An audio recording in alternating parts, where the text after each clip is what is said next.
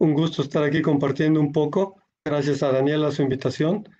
Ah, y pues bueno, hoy intentaremos compartir un poco un tema que casi nadie toca, que casi nadie le gusta tocar, que es la ética o cómo comportarnos en, en el campo con la naturaleza en general, no solo con aves, ya que la mayoría de lo que vamos a hablar aplica al disfrute de la naturaleza en general, a, a la fotografía, que ahora viene muy fuerte, y obviamente como nuestro objeto central, la observación de aves, sea de manera formal o recreativa.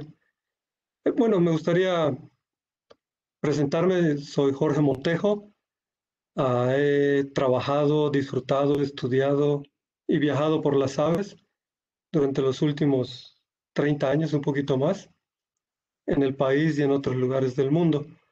a través de ese tiempo hemos ido recolectando un poco de experiencias de aquí y de allá, propias también, y las va uno adaptando a la vida. Eh, pues creo que todos los que estamos aquí en este momento disfrutamos de una forma u otra la naturaleza, sea por medio de las aves, simple hecho de ir a caminar, disfrutar lugares. Ah, en México, yo creo que en los últimos 10, 12 años ha habido una explosión de, de este amor por la naturaleza. Ah, la tecnología ha avanzado muy rápido. Todos ahora tenemos acceso a esta información, a estas bases de datos de ciencia ciudadana, como del PAO, eBird o INAD ahora también. Todos tenemos acceso a la información y la información ha ido avanzando pasos agigantados. Yo me acuerdo hace 15 años si había algo solitario para hacer en México era la observación de aves. Pero de 10 años para acá, gracias a Dios, uh, yo creo que todas estas redes y, e Internet nos han ayudado a acercarnos a la naturaleza o a conocerla. Y muchos acabamos aquí, por ejemplo. Pero en otros lugares del mundo, tal vez todavía no es el caso en México, pero hay que evitar llegar a eso ya tienen muchos problemas por este amor a la naturaleza que la gente tiene. Muchas veces un amor malentendido también, pero en inglés le llaman loving nature to death, amar a la naturaleza hasta la muerte. Y en muchos lugares en Estados Unidos, no solo para observación de aves, pero tienen grandes problemas por el impacto que causamos. Así lo hagamos con las mejores intenciones.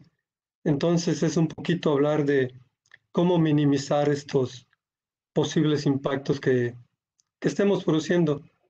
Tal vez a muchos no les guste escucharlo, pero el simple hecho de que salgamos a caminar a, un lugar silvestre es ya un motivo de impacto, ¿no? Entonces, un poquito cómo podemos minimizar estos posibles impactos que estamos teniendo en, la naturaleza. Bueno, ah, como el título lo dice la plática, vamos a hablar un poquito de la ética. Como decíamos, la tecnología ha avanzado mucho más rápido que nosotros, especialmente los que ya no somos tan jóvenes. Pero lo que no avanza a la misma velocidad, desgraciadamente, es nuestra nuestro conocimiento de los requerimientos de la naturaleza, cómo ayudarla, cómo respetarla, cómo compartirla a muchos de los que nos toca guiar es mucho de educar también, respeto a la naturaleza. Bueno, se me ocurrió meterme al internet a ver qué dice la definición de ética. Y la ética, palabras más, palabras menos, estudia lo correcto o equivocado del comportamiento humano, así como su moral, sus virtudes y sus deberes. Y si lo vemos de otra manera, todas estas palabras, moral, deberes, comportamiento, es algo que tenemos que tener siempre muy en cuenta cuando vamos a la naturaleza. Unas más, otras menos. Pero todas estas palabras aplican, aunque no se nos haya ocurrido, cada vez que vamos a disfrutar la naturaleza.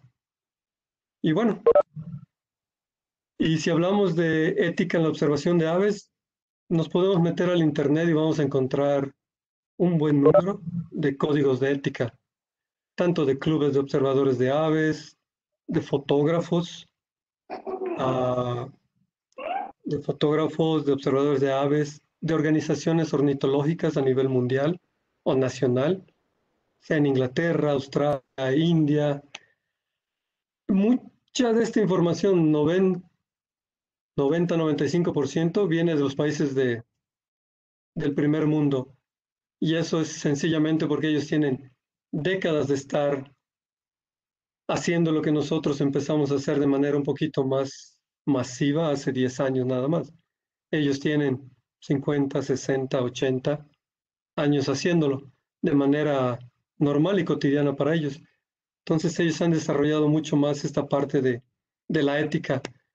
En México, tal vez alguien sepa un poco más. Creo que solo conozco algo de reglas de ética de una ONG en el noroeste del país. Son muy recientes, uno o dos años. Uh, no sé, Daniela, ¿ustedes en su caso tienen algún pequeño reglamento, lineamientos o reglas a seguir? Ah, bueno, en el PAU, en el, en el encuentro del año pasado se generaron unas mesas de trabajo y de una de las mesas es justo esto de ética en aves y pues estamos generando como un pequeño, este, una guía de buenas prácticas en las aves y pues está en desarrollo, ah, pero ahí vamos. Ok, qué bueno. Uh, y es algo que nos hace mucha falta y ustedes son un grupo muy grande, muy extendido a través del país, lo cual nos da la oportunidad de llegar a más gente, eh, diseminar estas buenas costumbres que intentamos practicar o intentaremos o hemos intentado. Uh, pero ustedes son una entrada perfecta para un mayor número de gente, no solo el grupo del PAO. Y como mencioné al principio, no solo es la ética con los pájaros, esto lo podemos agarrar y aplicar fácilmente a ética con mamíferos, con mariposas, con plantas. Eh, es nomás darle el pequeño giro y aplica para, para la naturaleza en general. Uh, a través de los años, Amy, mi compañera y yo, uh, siempre, siempre hemos platicado de esto muchas veces al principio sin conocer si existían códigos o no. Era nomás por un poquito de respeto y sentido común, que muchas veces no lo usamos, desgraciadamente. Y bueno, hemos ido aprendiendo cosas que nos gustaría compartir. Creo que esto de la ética lo podemos dividir en cuatro grandes grupos, si lo queremos llamar así. Uno es el bienestar per se de las aves, primero y antes que nada. Las aves están primero. Uh, un punto importante que tocar es actualmente el de las redes sociales y el manejo de la información. Otro punto que se puede tocar, que va a abarcar la mayoría de lo que se nos ocurra, es las salidas a observar aves, ya sea en grupos o solo en pareja. Y por último, algunas reglas sociales que todas las tenemos pendientes, pero muchas veces nos olvidan. Uh, serían las cuatro grandes ramas que nosotros pensamos para hacer esto de la ética o platicar un poco la ética. Desde luego, el primer punto y el más importante, después de ese, los demás es lo de menos, es el bienestar de las aves primero y antes que nada, con mayúsculas primero y antes que una foto, primero y antes que mi primer registro y primero y antes que nada las aves. Como siempre mencionamos Emi y yo cuando estamos guiando, nosotros estamos aquí para las aves, no ellas están aquí para nosotros. Si, si alguien no lo entiende, pregunte más específico. Pero bueno, uh, y mucho de esto tiene que ver con que siempre tenemos que recordar dejar lo que encontramos lo más parecido como lo encontramos para que puedan disfrutar lo mismo que nosotros estamos disfrutando. Y especialmente asegurarnos de su existencia más largo tiempo. Muchos le pueden llamar sustentabilidad. También podemos usar una palabra que es respeto o ética en este caso. Uh, bueno, uh, algo que siempre platicamos y nos cuesta mucho que la gente lo entienda, especialmente jóvenes ahora, sin ofender, ah, es algo que se llama paciencia. Es algo que es una de las virtudes de la vida, la paciencia. Eso me dijo mi abuelo una vez. Eh, pero con la paciencia vienen muchas cosas. El poder conseguir lo que queremos, sea una foto, sea una observación. Si no es en el momento, puede ser a la siguiente visita, ah, pero la paciencia y la constancia siempre nos van a ayudar a llegar a nuestro objetivo. Y estas dos, paciencia y constancia, igual pueden ayudar mucho a no perturbar a las aves. Yo sé que muchos van a decir, no sé cuándo vuelvo a venir aquí. Bueno, lo podemos agarrar como un buen pretexto siempre para intentar regresar, sea al parque de la esquina, al sendero a la orilla de mi pueblo. Siempre es un buen pretexto, paciencia, paciencia y constancia. Ah, bueno, ese sería el, primer punto. Mucho, mucho de paciencia para, para nosotros. Muchas veces difícil de conseguir, pero se puede. Eh, bueno, y entrando exactamente a la observación de aves, lo primero que siempre que tenemos que recordar para ayudarnos y sobre todo para ayudar a las aves es dónde y cuándo estamos. No es lo mismo estar parado en el parque de tu casa en diciembre que estar parado en el parque de tu casa ahorita en julio. Siempre tenemos que pensar qué temporada estamos. ¿Es temporada de anidación? ¿Es temporada de migración? Ah, ¿Es temporada de especies transeúntes por la zona donde vivo? Ah, siempre es muy importante saber dónde y cuándo estamos, aunque suene un poco, un poco ridículo, pero bueno, siempre es muy, muy importante. No es lo mismo que yo salga al parque de acá enfrente ahorita a que salga en, en diciembre, por ejemplo. Y bueno, esto igual nos va a ayudar a pensar un poco más allá de solo qué aves puedo ver, qué aves puedo esperar que haya, ah, sino también me va a ayudar a pensar un poco en, ok, es época de anidación. Debo de tener cuidado, ah, debo de ponerle mucha más atención, sobre todo en esta temporada, al comportamiento de las aves. Muchísimo eso me va a ayudar a, evitar problemas o a mí, o yo meterme en problemas en este caso. Ah, muy, muy importante. Ah, obviamente no voy a tener los mismos pendientes en diciembre o en enero que los que voy a tener ahorita. Ah, pero es muy, muy importante saber siempre dónde y cuándo estás. Obviamente esto nos va a llevar a que siempre es bueno estudiar un poco antes de ir a algún lugar. Sobre todo son lugares que son poco conocidos o desconocidos para ti, para uno. Bueno, meterte un poco a, a buscar listas. Ahora, por medio de eBird, podemos encontrar casi cualquier lista de lugares que quisiéramos visitar.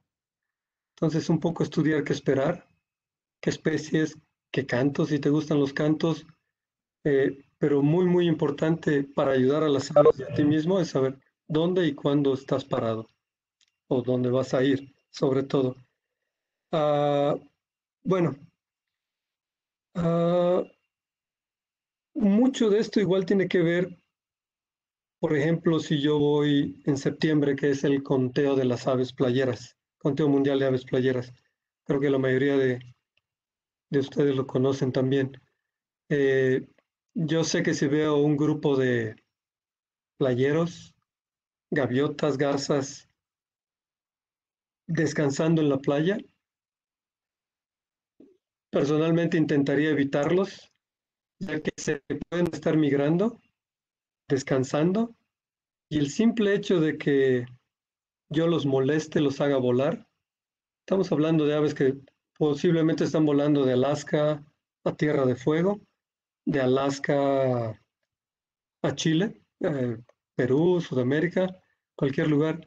El simple hecho de estarlos molestando, estarlos haciendo que vayan, que vengan, uh, que no duerman, que no se alimenten, ese pequeño malestar puede ser la diferencia entre la vida y la muerte, tan sencillo como eso.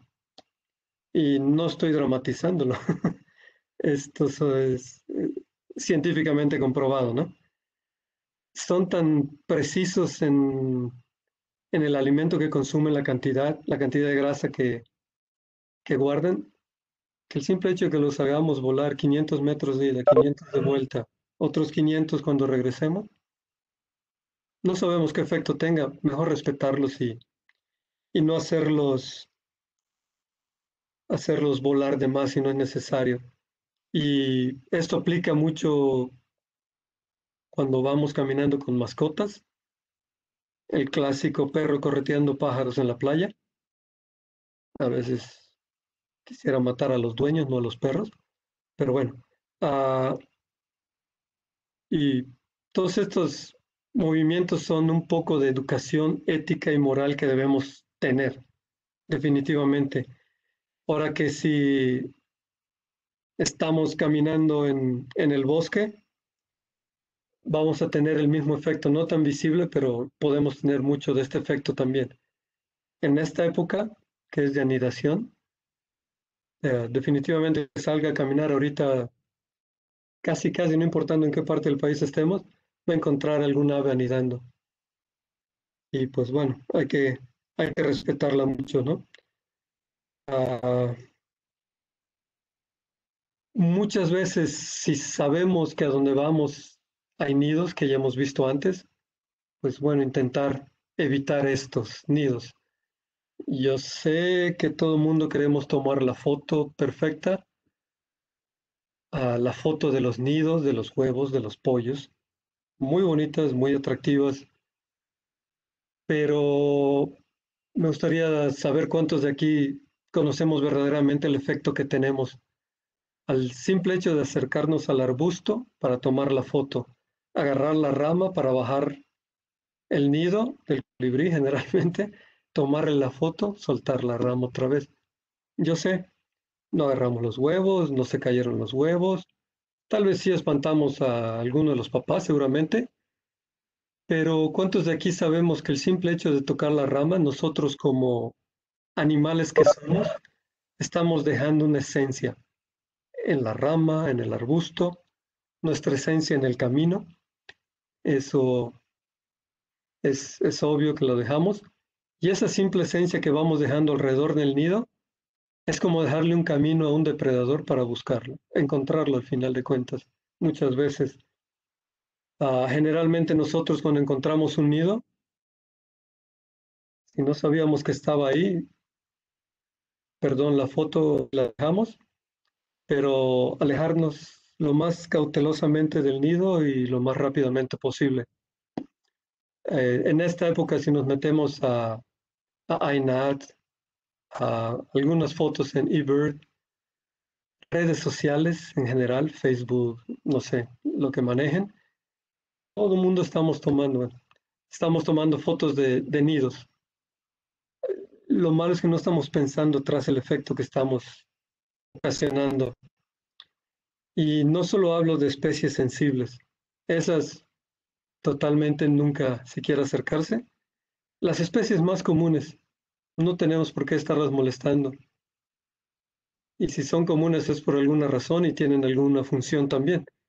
Pero hay que pensar un poco más allá del efecto secundario que vamos a tener, además de una bella foto, de un acercamiento brutal para la foto.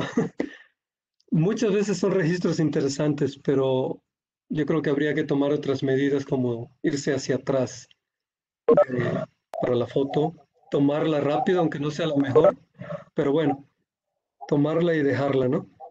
Ah,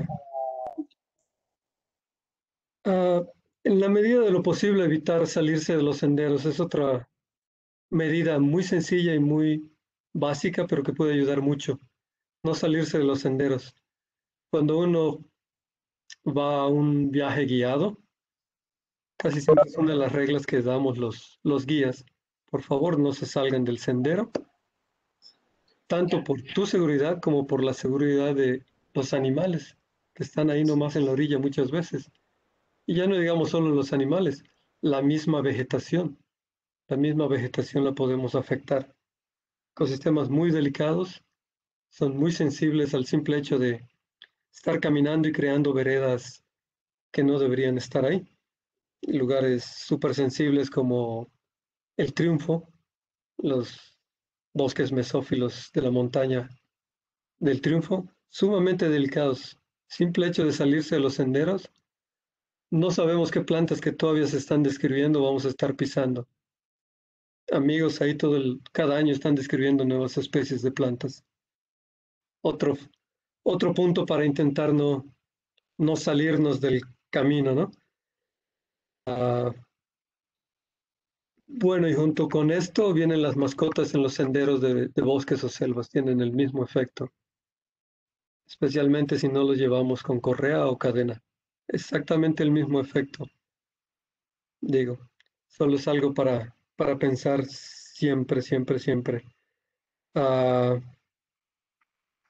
bueno, uh, otros puntos. Eh, y tal vez los más controversiales, los más discutidos, es meternos a hablar un poco de el uso de playback. Uh, seguramente entre ustedes lo mencionan con sus amigos como grupo. Espero que, lo hayan mencionado alguna vez o se mencione. El efecto del playback y la necesidad de usarlo. Uh, yo generalmente evito lo más posible utilizarlo, mi compañero y yo. Ni siquiera cargamos una bocina la mayor parte del tiempo. Este, pero este es un punto sumamente delicado y al que todos tenemos acceso ahora, afortunada o desgraciadamente. Si fuera yo, quitaría los cantos en Merlin, por ejemplo. Perdón. Uh, mucha gente no sabe usar los cantos y no quiero ser negativo. Es una biblioteca excelente de, de voces, sobre todo cuando vamos a lugares nuevos y no conocemos. Pero igual es un arma de doble filo el uso de, de playbacks. Y regresamos al primer punto que tocamos si voy a hacer un playback, ¿dónde y cuándo? ¿Dónde estoy parado y qué fecha es? Uh, obviamente en esta época en México especialmente es, es muy delicado utilizar el playback. No sabemos si están anidando o si lo sabemos, peor. Uh, yo sé que todos queremos ver a la especie que andamos buscando, pero bueno, muchas veces eh, en lo personal, si yo escucho un búho, soy más que feliz, no tengo que llamarlo. Uh, si escucho un ave y sé que es, estoy más que feliz. Bueno, es parte de nuestra ética, de mi compañera y mía. Uh, pero es muy, muy delicado. Y principalmente, y no, y no lo, lo que voy a decir no es porque esté adivinando, es porque lo conozco muy bien. Generalmente no sabemos utilizar el playback, no sabemos cuándo utilizar el playback, no sabemos cuánto tiempo utilizar el playback. Conozco guías que ponen el playback a todo volumen y lo dejan por 10 minutos. Ya apareció el pobre pájaro y el playback sigue sonando. Uh, yo les preguntaría a ustedes, cuando llamas a un pájaro, ¿lo llamas regañándolo o lo llamas como una plática? Muchas veces el volumen del playback va a depender de qué tan lejos, qué tan cerca está el ave, cómo lo oigo, lo oigo fuerte, lo oigo bajo. Es intentar realizar una plática sencilla con un ave cuando utilizamos el playback. Pero, perdón, la mayoría de la gente no sabe utilizar el playback. Es, es, un arte utilizar esta, esta herramienta. Es un arte que puede ser muy bueno o muy malo en la mayoría de la gente. Acá me imagino que a todos nos, gusta nos gustan los memes. Chivis tal vez se acuerde el origen de este meme. El pájaro que llega al caer la tarde al nido de vuelta y la hembra toda molesta. ¿Dónde estuviste todo el día que no trajiste comida ni nada? Y pues bueno, es un meme referente al playback y, y no es muy alejado de la realidad. y ya no digamos que se distraen de sus labores de cortejo, si es el momento, a construir el nido, eh, empollar, alimentar bebés. Ya no olvidémonos que pierden media hora, una hora, que, que seguro para ellos es mucho tiempo. Ah, pero tampoco pensamos en, al yo llamar al pájaro, sacarlo de ese lugar, ¿qué tan expuesto queda? Expuesto a los depredadores, desde, desde luego, ¿no? Eh, son, son muchas preguntas. Siempre que usamos una herramienta, yo les recomendaría pensar dos, tres o diez veces antes lo que vamos a hacer y el efecto secundario que este va a tener y especialmente ahora con el acceso a estas herramientas, que de nueva cuenta son un arma de dos filos muy, muy peligrosas. Ah, acá yo creo que todos nos gusta la fotografía, empezando por mí. Ah, y hay mucho fotógrafo que, fotógrafos y pajareros también que tienen muy muy poquito conocimiento de, de lo que sus acciones ocasionan. Muy, muy poco, desgraciadamente. No digo que todos, desde luego. Y estas herramientas se han vuelto mortales en muchos casos. Me ha tocado verlo. Me ha tocado ver que depreden pájaros porque alguien está usando incorrectamente. No sé, me imagino que de acá tendrán muchas preguntas de este punto, tal vez, ¿no?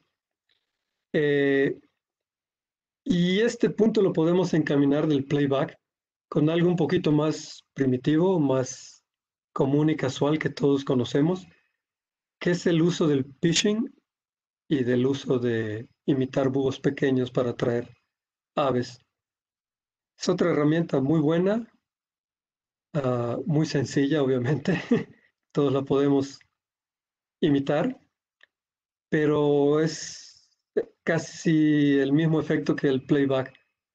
Si lo usamos en exageración, después de los primeros tres minutos deja de funcionar.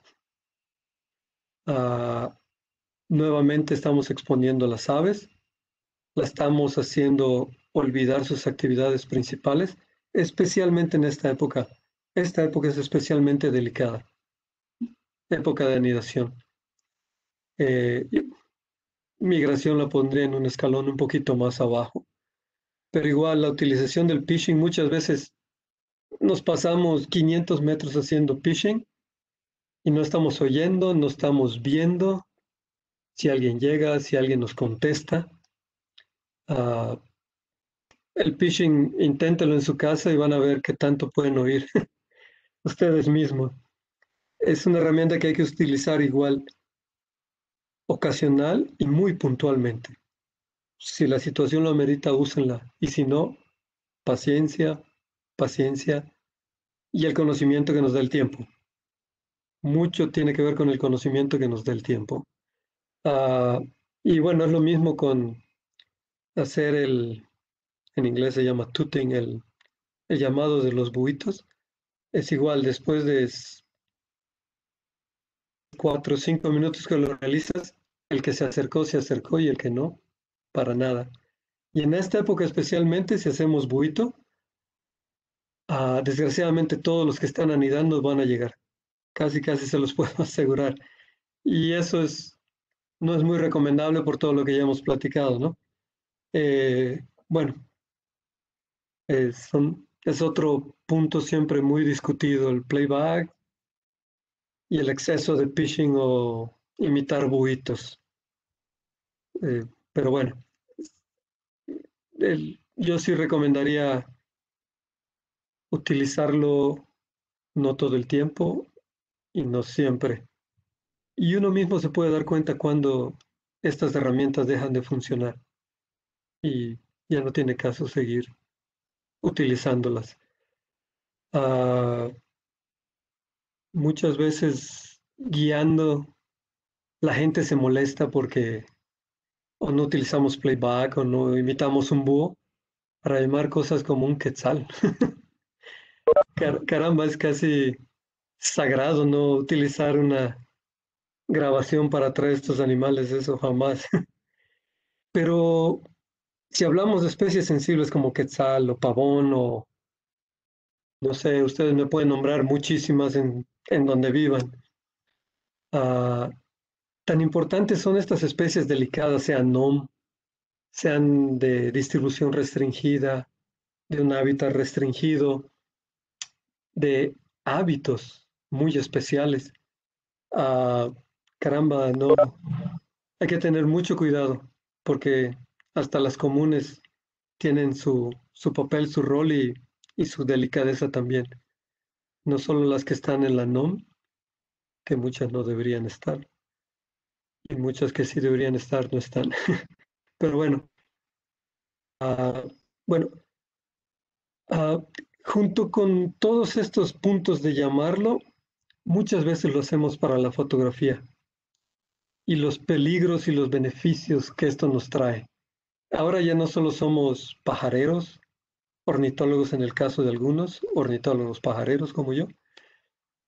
Todos ahora cargamos irremediablemente un teléfono con cámara, una cámara, sea chica, sea grande, lente chico, lente grande, y todos queremos la foto perfecta. Está bien, está bien, pero igual que el uso del playback o pitching, ah, siempre tenemos que pensar en el efecto secundario que hay atrás de lo que queremos hacer.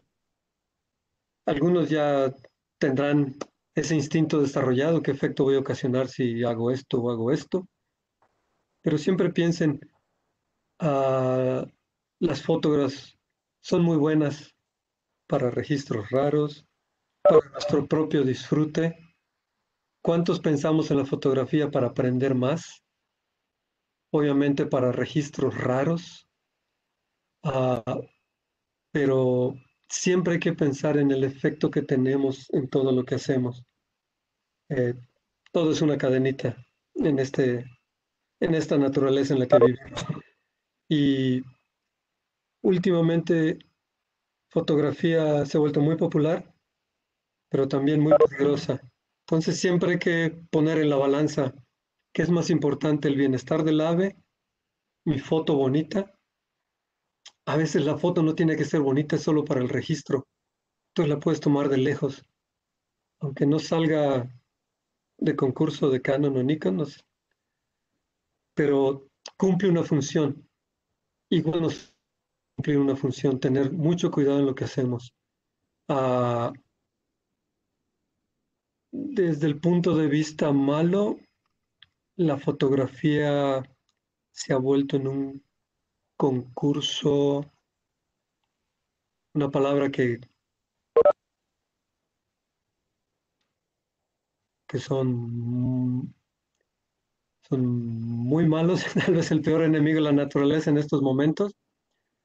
Y bueno, esto, foto junto con redes sociales, plataformas, grupos para subir fotos de aves, se ha vuelto otra herramienta de dos filos, otra arma de dos filos, ya que podemos perjudicar a los animales, primero y antes de nada. Hay mucha, mucha, mucha gente que utiliza ahora las plataformas y que son gente que captura aves, cazadores gente que les gusta los trofeos, etc. Ah, hace poco vimos una foto de una, garza agami, la garza cándida. Era preciosa la foto. Era el pájaro sentado en el nido. Desgraciadamente los que tomaron la foto estaban abajo. Habrá sido unos 3, 4 metros del nido Ah, pero ese nido tenía una cámara que la estaba grabando. La pusieron desde antes de que se empezara el nido, o cuando se empezó específicamente. Después de la visita, tristemente lo que captó la cámara fue, regresó el ave, el adulto, uno de los papás, y en 30 minutos todo el nido que armó lo desarmó rama por rama literal y prácticamente, en 30 minutos no existía el nido y el ave ya no estaba ahí. Si yo no hubiera sabido del video, yo en lo personal hubiera pensado qué efecto tuvimos con nuestras acciones. Y la foto era perfecta. La foto preciosa. Ave, que no la conozca, le recomiendo que busquen a la garza gami en el internet. Son de las aves más bellas que conozco. Ah, pero nuevamente regresamos al principio, amando la naturaleza hasta la muerte. ¿Qué efecto tuvimos aparte de que el nido ya no existió? La pareja volvió a intentar anidar, ya no volvió a intentar anidar. No sabemos. Siempre hay que pensar 10, 100 veces en lo que vamos a hacer, perdón. Perdón que insiste en esto. Y el efecto que podemos tener. Uh, es, un efecto de dominó generalmente o muchas veces. Y muchas veces no lo vemos. Entonces no lo hace uno de mala intención, pero, pero bueno, es conocer, involucrarse un poquito más con la naturaleza, cómo funciona y cómo no funciona. Regresamos a las fotos. De, esa foto la pudieron haber tomado a 10 metros igual. Total, el pájaro es, es grande, mide más de un metro parado. no había que acercarse tanto. Eh, y bueno, pero bueno,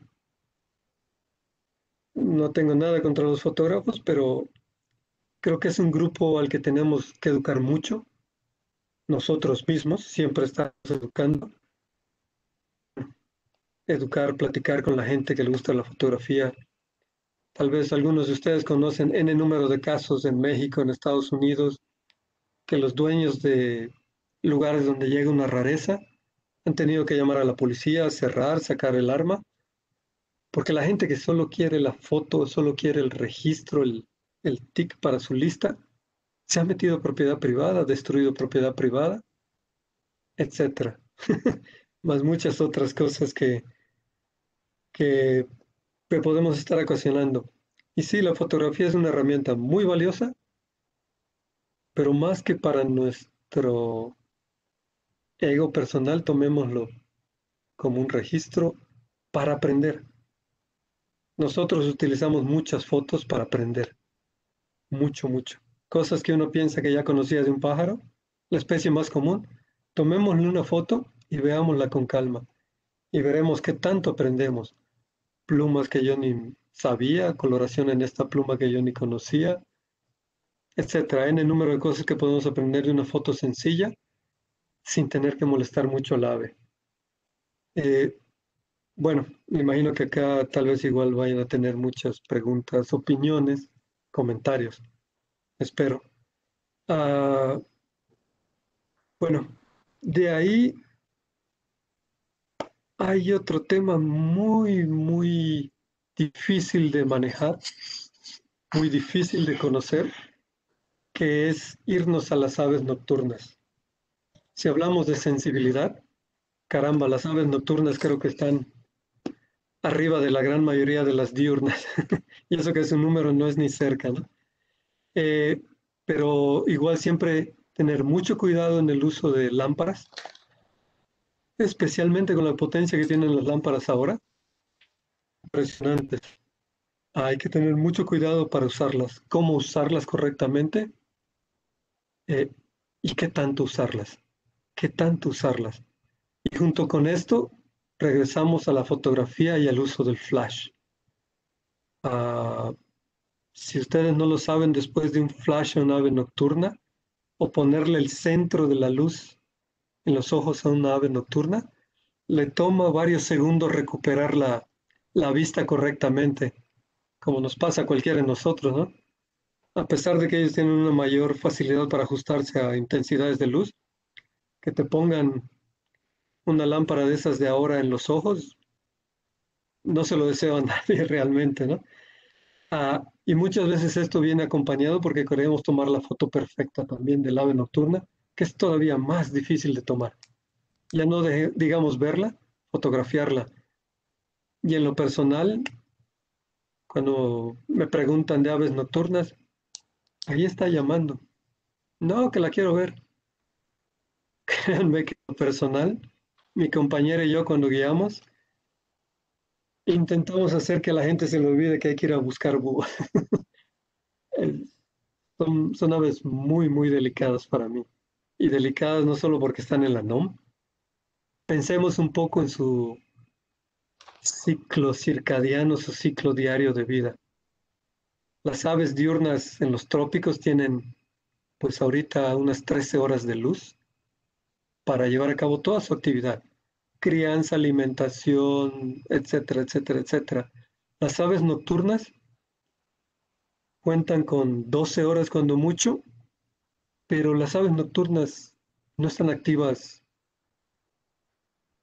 de la primera hora sin luz a la última hora sin luz.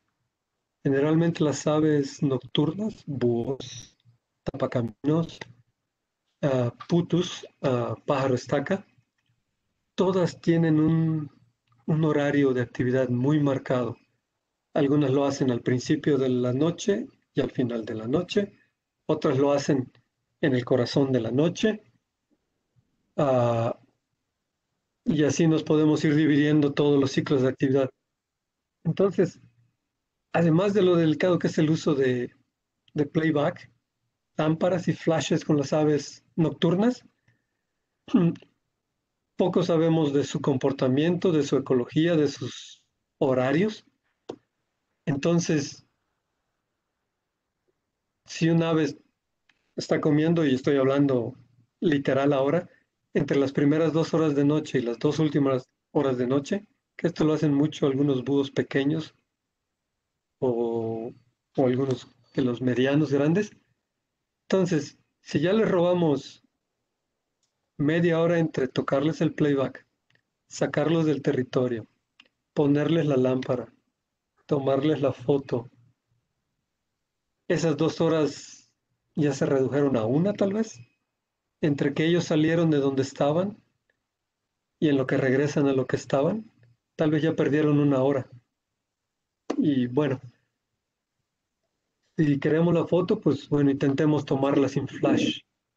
Y algo muy importante, no tenemos que ponerle a las aves el centro del flash en la cara o en el cuerpo. Generalmente se les pone a un costado y usamos el halo de luz que está alrededor del principal, que es mucho menos dañino y podemos utilizarlo por un periodo un poco más largo de tiempo.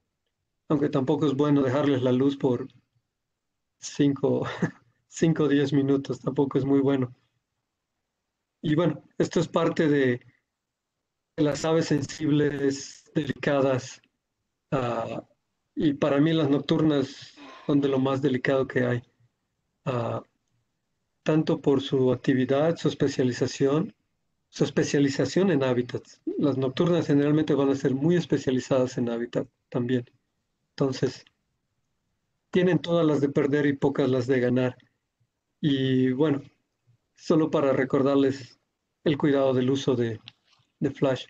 Todas estas son cosas que oímos de manera dispersa aquí allá, pero pocas veces las tomamos o en serio o las digerimos, como se dice vulgarmente, las pensamos dos o tres veces. Casi nunca pensamos las cosas más de una vez, desgraciadamente. Ah, bueno, uh, todas estas recomendaciones Ah, obviamente tienen que ser tomadas en cuenta, pensadas dos veces o tres veces con ciertos grupos de especies. en México podríamos decir están las de la NOM. Eh, están las aves muy especializadas, como dijimos al principio. Pero bueno, en estas aves delicadas hay que pensar en todas. Hay aves que no sabemos que son especialistas de un hábitat que tal vez no sean tan raras, pero son muy especialistas de un hábitat. En la, selva tiene N número de estos especialistas. Las vamos a encontrar solamente adentro de la selva conservada, ni siquiera en el acahual, mucho menos en el potrero. Entonces, estas igual son especies delicadas. Por eso mencionábamos hace rato de, de antes de ir a un lugar, tal vez, sobre todo los lugares nuevos o muy poco conocidos, tal vez tomarnos media hora y entrar a conocer un poco a dónde vamos, qué hay, qué no hay. Ah, si son aves que no sabemos si son comunes o poco comunes, y nos las topamos, pues, respetarlas todavía con más razón, ¿no? Eh, sí. Ah, bueno, junto con esto hay otra nueva herramienta. Les digo que la tecnología nos va ganando pasos agigantados y la ética y las buenas costumbres se han quedado muy atrás de nosotros. Otra herramienta que muchos conocemos es el uso de apuntadores o láseres, como les llamamos ahora. Qué carambas, en malas manos igual son, son terribles. Tanto para nosotros mismos como para las aves. Mucha gente agarra y pum, pone el apuntador en el, en el cuerpo. Por no decir que muchas veces se le va la cara a los pobres pájaros. Eh, si nunca lo han usado, pregunten, métanse a la internet, hay suficiente información cómo usar todas estas herramientas correctamente ah, o códigos de ética. Eh, los láser son muy útiles, sobre todo cuando estamos en grupos, muy, muy útiles, o cuando no tenemos buena vista también son muy útiles. Eh, pero igual pueden ser muy peligrosos o de un uso muy delicado, diría yo. Entonces igual nunca se apunta al pájaro, siempre apuntas a un lugar cercano a él, abajo, arriba, a un lado, pero nunca al pájaro. Y si hablamos de colibrís, vamos a poner un ejemplo, ellos son tan especiales y tan fijados en todo lo que está muy cerca de ellos, que el brillo del láser en una hoja cercana a él lo va a espantar. Entonces, los colibríes, por ejemplo, tienes que poner el láser todavía más lejano de lo que tú quisieras y dar una pequeña explicación a la antigüita del láser para dónde voy, ¿no? Pero herramienta muy útil cuando vamos en grupo, sobre todo el PAU.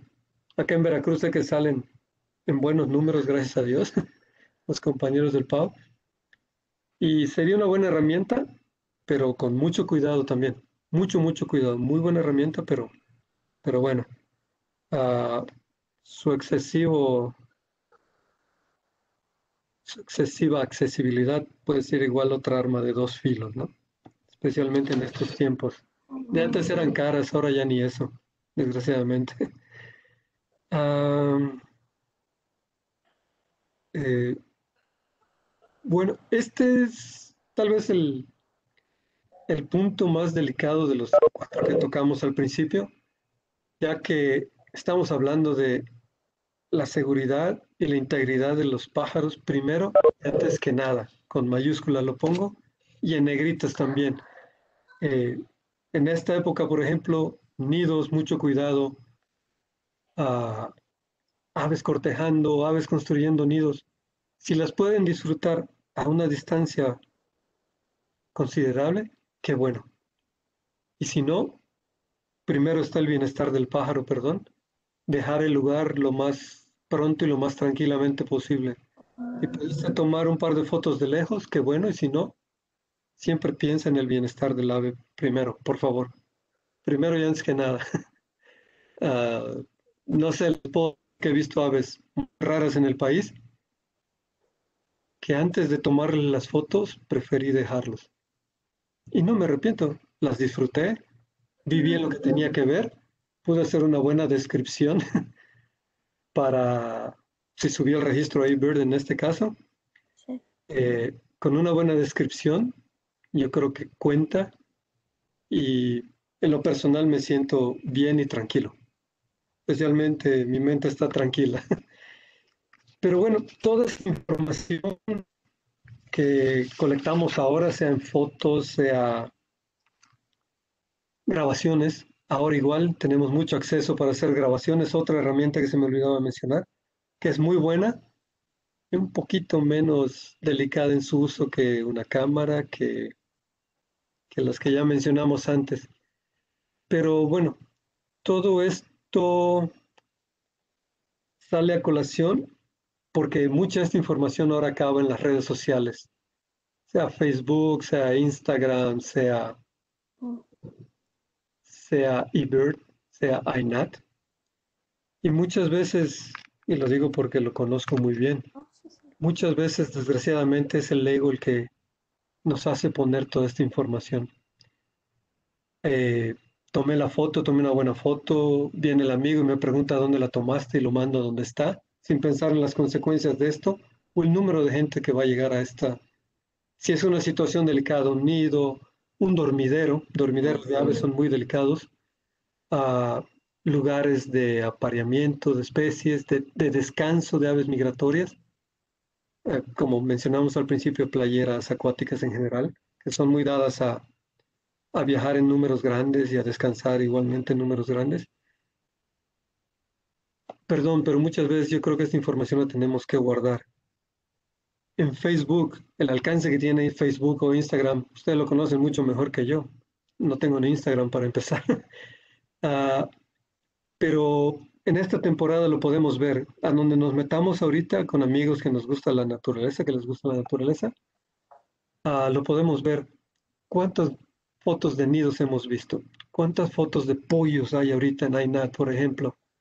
Perdón, a veces me, exasperan estos tópicos y que la gente no piense más allá de su propio beneficio.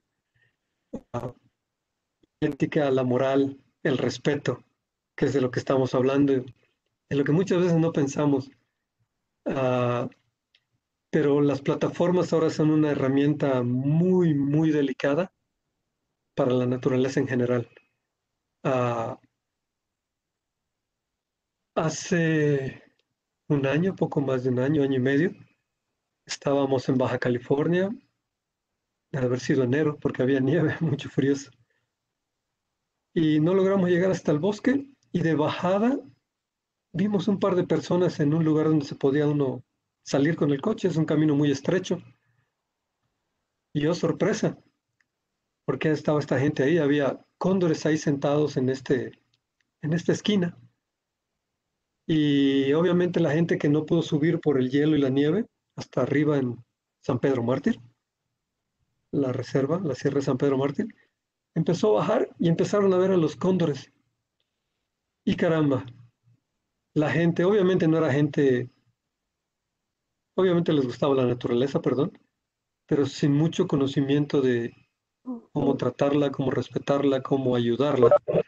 Todo el mundo empezó a frenar de golpe, a bajarse. Los cóndores muy tranquilos, estamos hablando de que había 27 cóndores ahí sentados. No sé si en mi vida vuelvo a verlo, pero ya lo vi. Y la gente con los niños, ay, mira qué bonito, los comentarios que quieran.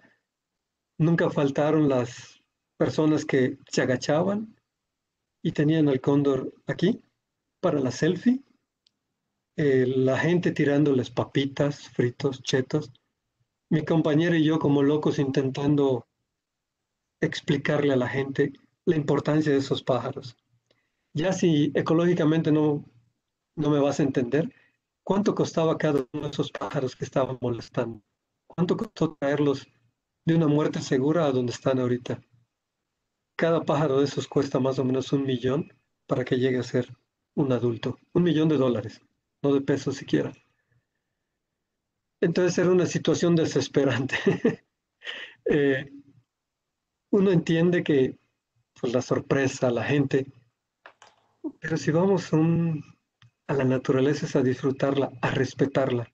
Y yo creo que acá estamos en un grupo sumamente importante para, para desperdigar estas palabras, esta forma de comportarse en la naturaleza. Dentro de nuestros mismos grupos del PAO, amigos que aunque no estén en el PAO les gusta la naturaleza, otras gentes. ¿Cuántos de nosotros no hemos tenido impotencia de ver lo que hace la gente cuando vamos caminando? Sí, es mi misma reacción, aunque yo soy una mala combinación entre yucateco y jarocho y me gustaría utilizar otras palabras, pero no puedo. Este, sí, e, es triste. A veces, si la situación lo permite, se mete uno a intentar corregir la situación, ayudar al pobre animal o animales o, naturaleza en general. Pero bueno, creo que este es un grupo que tiene el potencial para tirar estas raíces a muchísima gente. Si acá vemos ahorita 36 en el chat, todos tenemos 10 amigos que nos gusta la naturaleza. 360, etcétera, etcétera, etcétera, ¿no? Esto se multiplica. Pero bueno, uh, específicamente en el caso de la ciencia ciudadana, que muchos de aquí lo usamos, los grupos del PAO tienen cuentas en eBird, me toca mucho, a mi compañera y a mí nos toca mucho revisar cuentas eBird, varios estados, no solo para uno, y vemos sus cuentas, lo cual nos da mucho gusto. Uh, pero en el caso de la ciencia ciudadana, ah, tenemos que recordar a INAT también y BIRD, los dos, es muy posible, que todos estos registros delicados, lugares especiales que muchas veces conocemos por que nos topamos sin querer o porque era un lugar que específicamente queríamos conocer.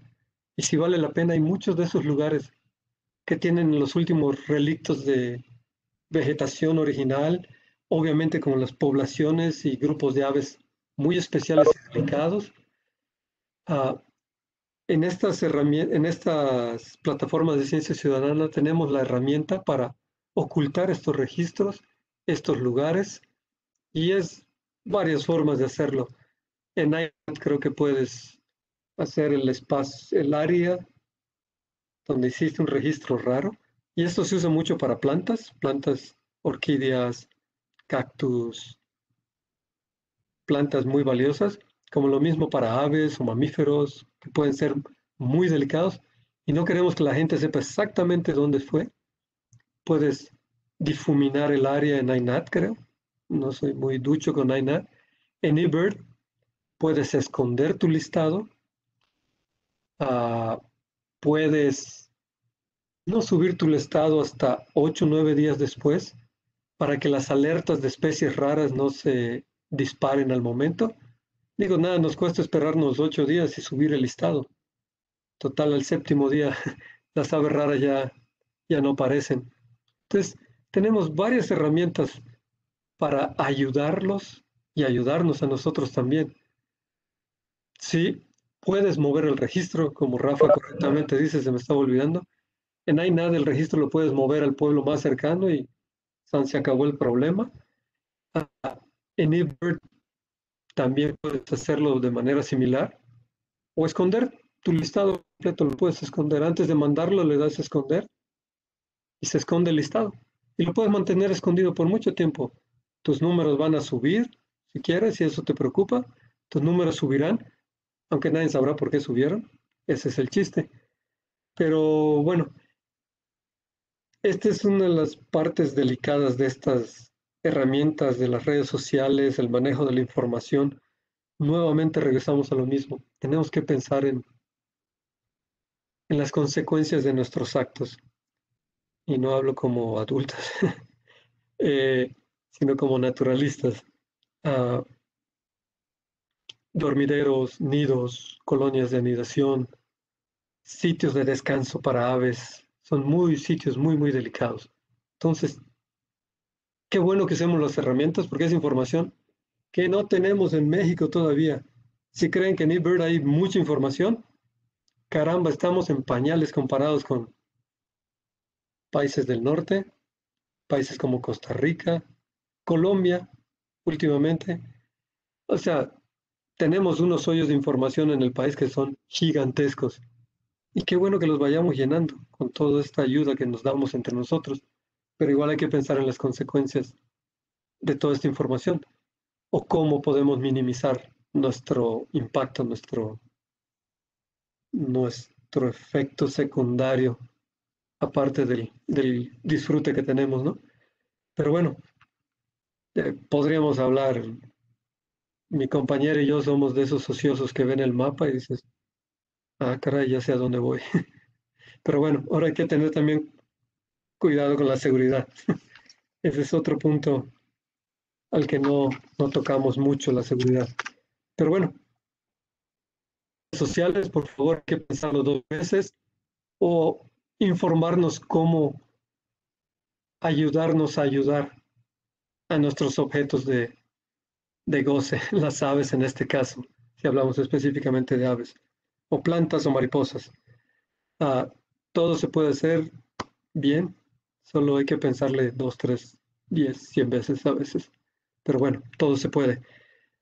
Ah, en el caso de, de acá de ustedes, de nosotros, del PAU,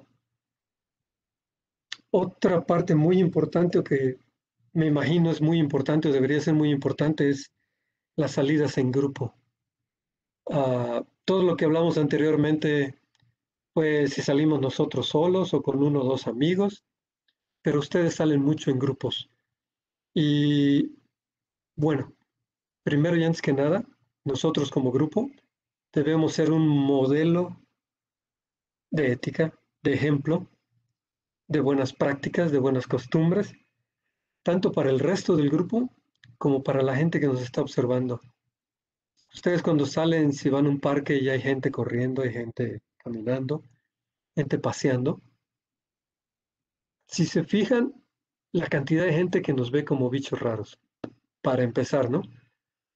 La gente que está viendo que vemos, si vamos a un sendero o a un lugar un poquito más silvestre, la gente del campo nos está viendo. Si hay gente cerca de nosotros, seguramente nos está viendo, porque no nos conocen, porque no tienen idea de lo que estamos haciendo.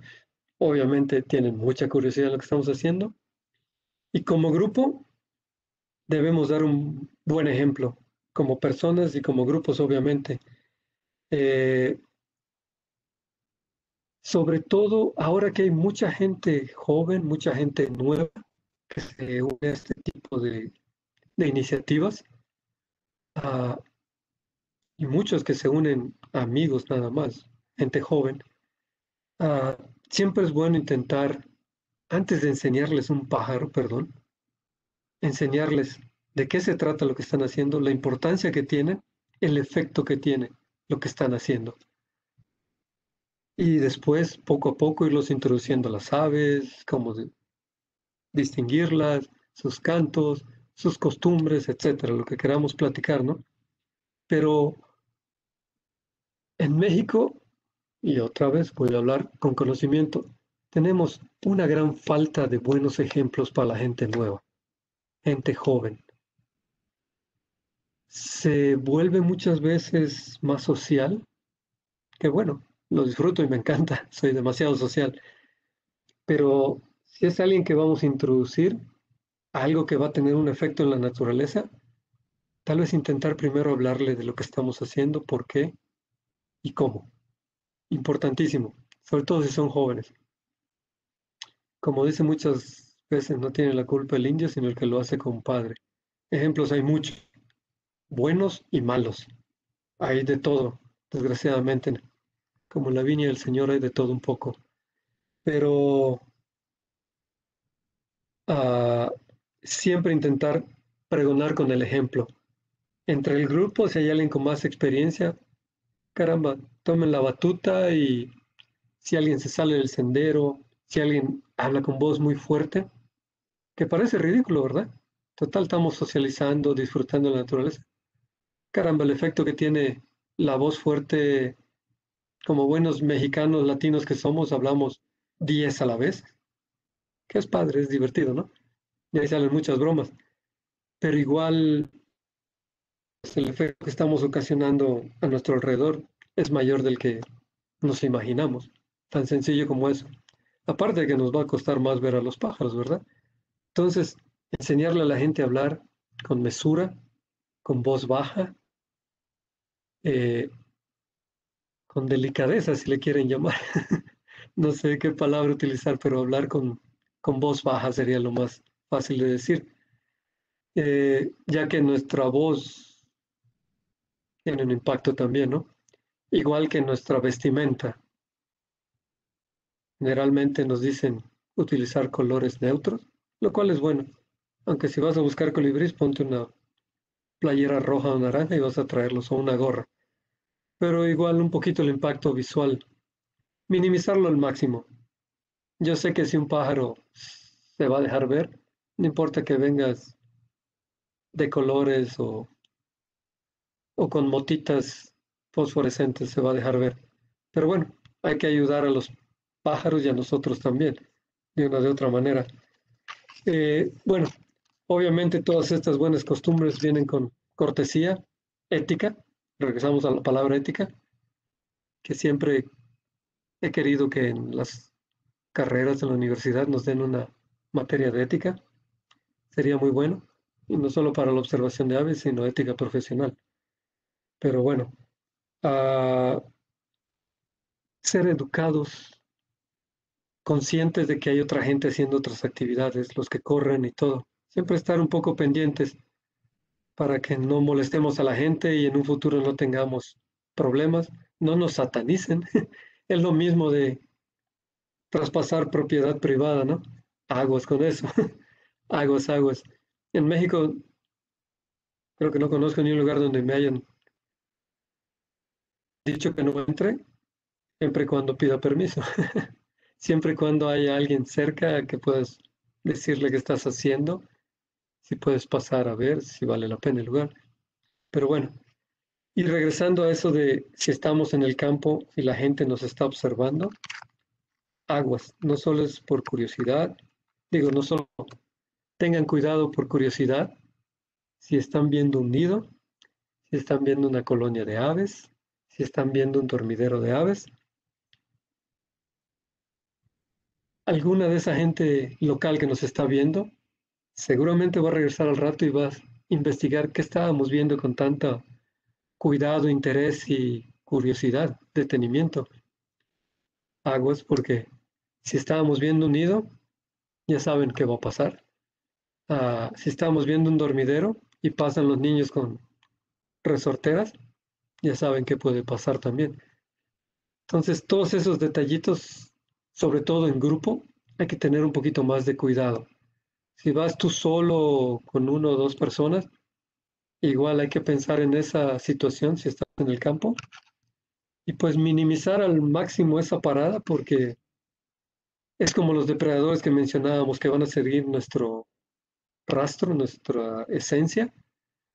La gente del campo es muy dada a hacer eso, muy, muy dada. Si te paras mucho tiempo en un lugar, te apuesto que atrás de ti van a ir y van a curiosear.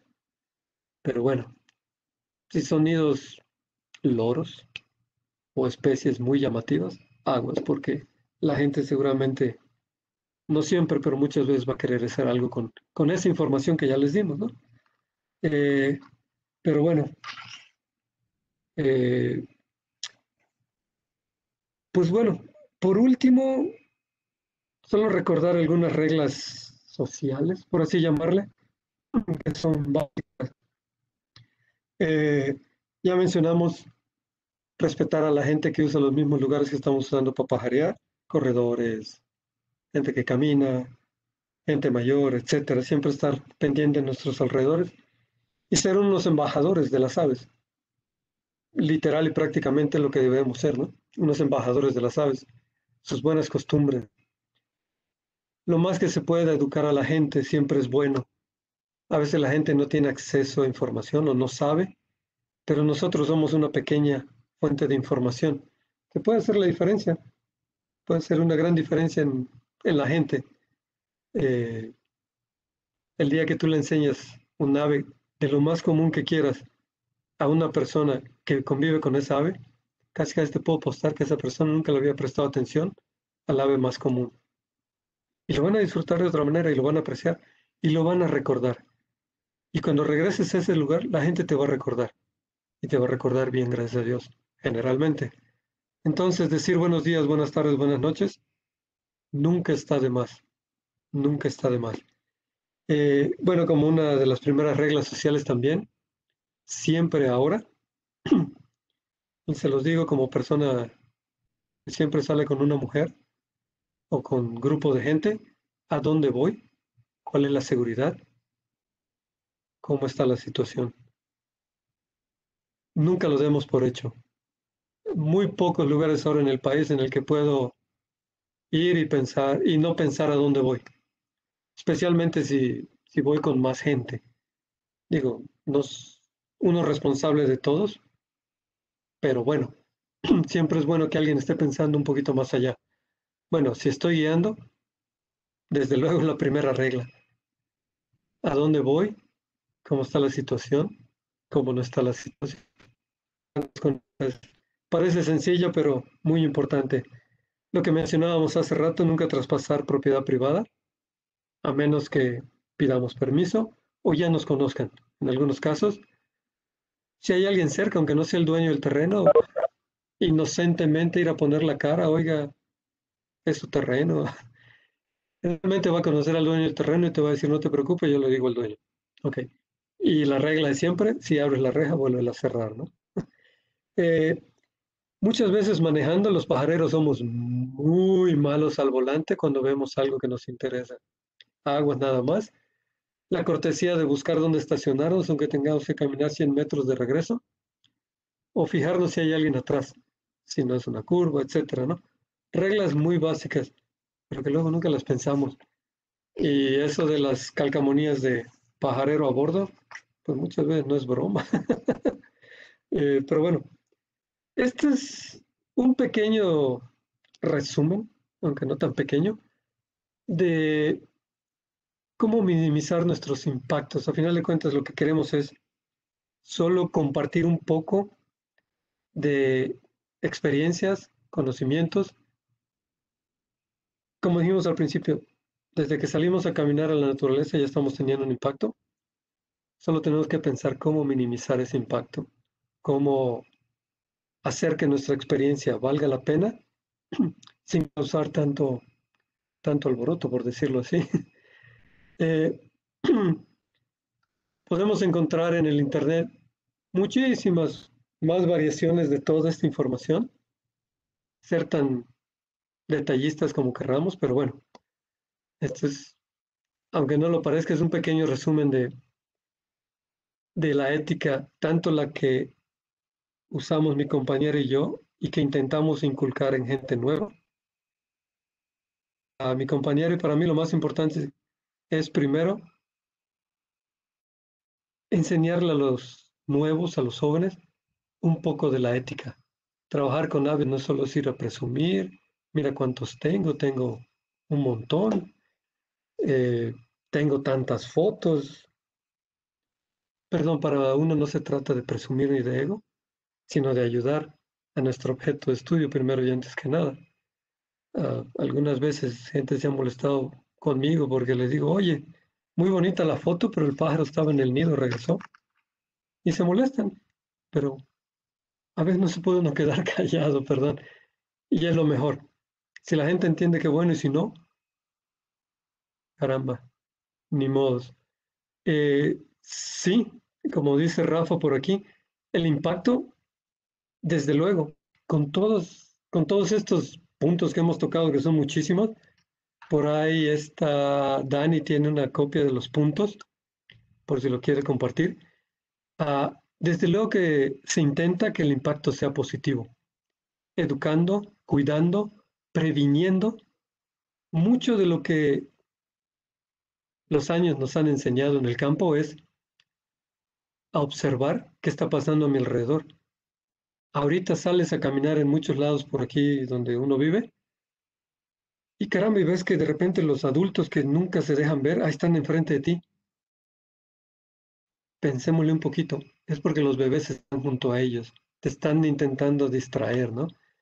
¿Cuántas personas no conozco que quieren tomar la famosa foto del Killdeer, el Charadius vociferus, que cuando hace su despliegue de que está lastimado porque estás parado junto al nido y quieres la foto famosísima de la aparente ala quebrada. Caramba. Caramba. ¿Tú crees que una foto vale más que los bebés que están a punto de perderse? Digo, una pregunta que yo siempre me hago. Entonces, mucho de lo que tenemos que hacer es usar el sentido común y observar qué está pasando a nuestro alrededor. Y vas a deducir muchísimas cosas y a ver muchas cosas que, que, no, que aparentemente no vemos. ¿no? Como decimos mi compañera y yo a, a mucha gente, todos sabemos ver, pero no todos sabemos observar. Bueno, por favor, si tienen preguntas, dudas, meternos más en un tópico, con gusto. Pero sí, como dijo Rafa y dijo muy bien, todo siempre es para mejorar. para dejar un impacto positivo. Si tienen preguntas, por favor, o dudas. si, me, preguntan dónde hemos aprendido todo esto, desde Holbox hasta Tijuana, por todo el país. No estoy hablando solo de un cachito de México, son experiencias de todo el país que hemos tenido el gusto de conocer mayormente. Muchas gracias, muy, muy, interesante la plática. Em, pues, ¿Alguien quiere comentar algo? ¿Aportar algo? ¿Decir algo? ¿Preguntar algo? Si quieren puede abrir su micrófono o pueden escribir en el chat. Siempre hay que pensar dos o tres veces en lo que estamos haciendo, o diez. Digo, especialmente en grupos como este, que somos gente que nos interesa la naturaleza y la queremos, siempre pensar dos, tres, diez, mil veces en el efecto secundario que vamos a causar, ¿no? Las fotos de nidos, ah, el olor que dejamos, que no sé cuánta gente acá siquiera conocía ese chiste, ¿no? Que al tocar una rama, al simplemente caminar en un sendero, estamos dejando nuestro olor. Y es una carretera para depredadores. Exactamente. Si vas, y agarras la rama, ya le señalas el depredador dónde está. Exactamente. Sí, y, generalmente es algo que desconocemos, ¿no? La mayoría, por ejemplo, en mi caso, pues, trabajo con el chorlo nevado y ahora sí que con la eh, población reproductora directamente. Es justamente, ¿no? Una de las primeras recomendaciones cuando estaba estudiando fue era eso, ¿no? O sea, lo menos que te puedas acercar al nido. Si, si no es necesario ir a, a, a marcar las coordenadas o a tomar las medidas de los huevos, etcétera, pues, desde lejos, si ves que está incubando el individuo, pues, ni te acerques, no, no lo molestes. y esa pues, no, es la regla con nosotros. No, exactamente. Y, y, eso es lo que queríamos mencionar de salir con tu mascota a las playas, estar pajareando, aunque estamos haciendo lo que nos gusta. Si me dices, estoy en septiembre, principios de octubre, y veo un grupo de aves en la playa durmiendo, por el amor de Dios, no los vayas a molestar Seguro vienen de Alaska, tú sabes, y van hasta la punta de Argentina. Déjalos descansar, por favor. O si tienes espacio, no camines directo a ellos. Clásico, dale la vuelta si puedes. Cosas así, ¿no? Pensar un poquito más allá. Es lo que me gustaría que se lleven en esta plática. Pensar un poquito más allá de nuestras acciones. Y no ser tan egoístas. Muchas veces es sin querer, pero sí somos egoístas, ¿no?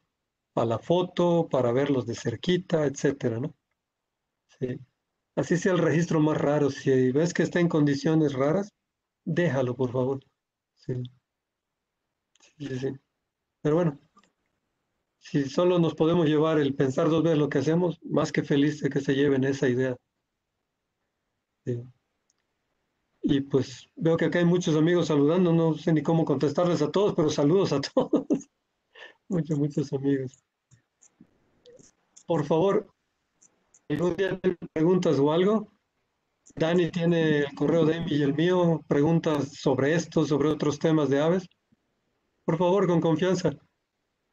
Muchos de acá los conozco porque somos revisores en eBird. Por favor, no nos tengan miedo. De hecho, cuando les preguntamos es para aprender. Cuando les lleguen preguntas de revisores de eBird, tómenlas como un buen pretexto para aprender. ¿Por qué me preguntan y voy a buscar? Perdón, comercial para eBird. Muy Ah, pues bueno, pues con tu permiso y el de Amy, pues si, si ustedes quieren, les comparto el archivo que me mandaste y los correos a todos. Sí, por favor. Este, déjame hago dos o tres anotaciones extras que hice y te mando el archivo otra vez ahorita mismo. Ah, ok, sí, y bueno, si ustedes quieren, pues igual se los comparto a todos los del PAU. Por favor, mientras sirva en lo que está su documento final, tal vez este puede ser un buen principio. Sí, muchas gracias. No, no, al contrario.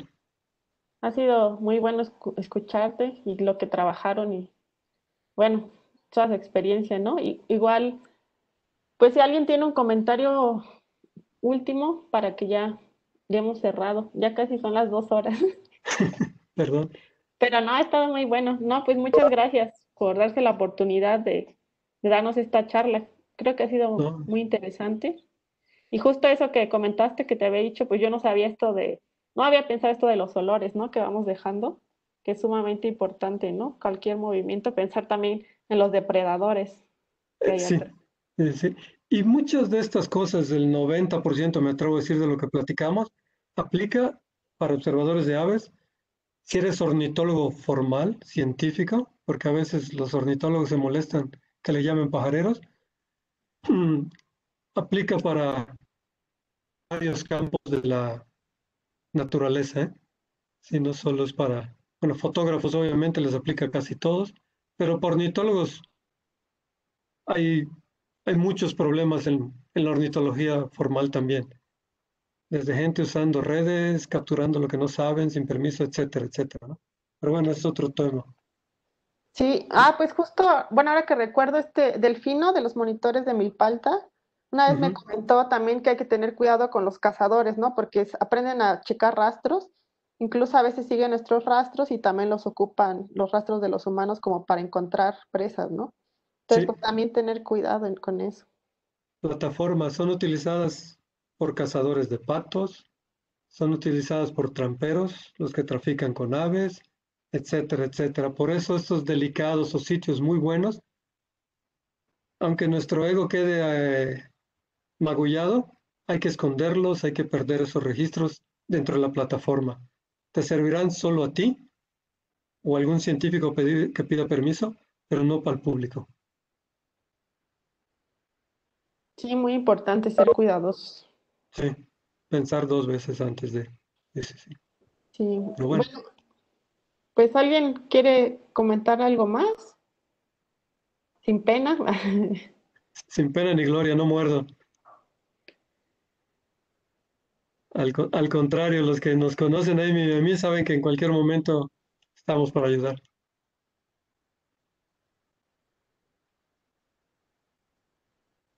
Ok. Pues bueno, muchas gracias Dani por la invitación. Gracias a todos por su tiempo sobre todo. Y pues los que no nos conocían, acá tienen unos amigos para cualquier cosa buena. y siempre dispuestos a ayudar con todo gusto. Sí, muchas gracias. Gracias por darse el tiempo de darnos esta charla. De aquí una buena práctica me toca dar una sobre las aves de México, pero en Colombia. Ah, bueno para, para no ponerme muy nervioso. Ah, muy bien. Sí, pues muchas gracias. Un gusto escucharlos. No, igualmente y ojalá y pronto sea saludarnos en otra situación, ¿no? Sí, una pajareada. Por favor, ya hace falta.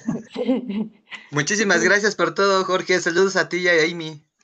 No, hombre, al contrario, un gusto.